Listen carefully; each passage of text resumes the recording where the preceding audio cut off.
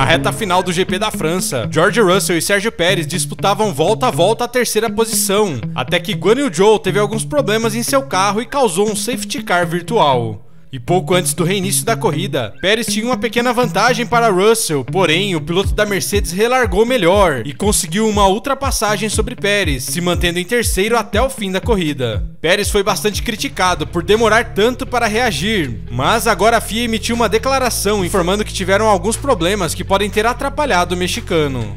Quando o safety car virtual está perto de acabar, o sistema da FIA envia mensagens para o volante do piloto com a mensagem fim, com o objetivo de manter o piloto alerta para o reinício. E depois de alguns segundos, essa mensagem some e a corrida é reiniciada. Porém, dessa vez, alguns problemas no sistema da FIA fizeram essa mensagem fim não desaparecer, e o sistema precisou ser reiniciado, começando a contagem novamente e demorando bem mais do que o normal para desaparecer. A nota da FIA diz: uma segunda mensagem de final do VSC foi enviada devido a um problema de hardware, o que levou a uma mudança automática para sistemas de backup que funcionaram exatamente como deveriam naquele cenário. A mesma informação é fornecida a todas as equipes ao mesmo tempo. O tempo de contagem regressiva do VSC até a luz verde ser exibida nos painéis da pista é sempre aleatório.